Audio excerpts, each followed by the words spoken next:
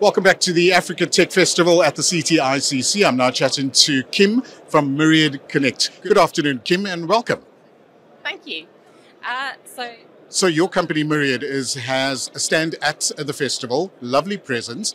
Tell our viewers a bit more about some of the amazing work that you do. Thank you very much. So, Myriad Connect has been a provider of mobile infrastructure to mobile network operators for over 20 years. Um, and the AfricaCom event has been one that we have often attended because it obviously is meeting of all the major players across the continent. Um, however, over the last few years, we have evolved our offering where we have an open API platform that um, helps connect the digital ecosystem, uh, particularly digital service providers that are wanting to uh, connect to mobile network operators. Um, we focus a lot on uh, markets in West and Central Africa and um, yeah, connecting the various different players and, and playing that role in kind of enabling uh, financial inclusion and digital inclusion on the continent. Um, the Africa Tech Festival has grown in leaps and bounds over the last couple of years. How are you finding the festival this year, and what are you hoping to achieve by your presence?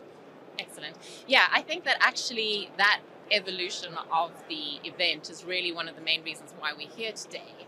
Um, formerly, it was to meet with partners and customers, but really now it's to learn from the ecosystem because um, there obviously are so many different players, particularly in the fintech space, and many representatives here um, at the event that we're hoping to learn what's happening um, and see, particularly in markets that we don't focus in.